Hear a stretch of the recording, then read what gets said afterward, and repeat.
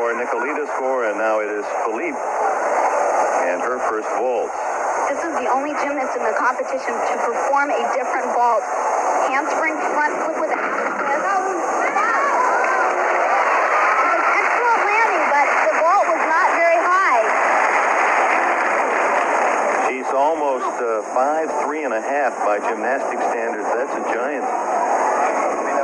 And this is not a strong event for her. In fact, the front handspring front flip with a half, you, you don't see anymore, really. You see the Yurchenko vaults, which everybody else in the competition is doing. It is a more difficult vault. This is not as difficult.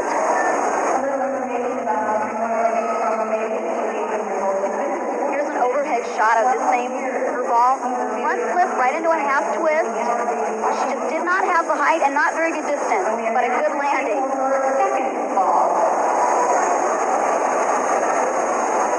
And we can add the score Maria Neculita, 9.116.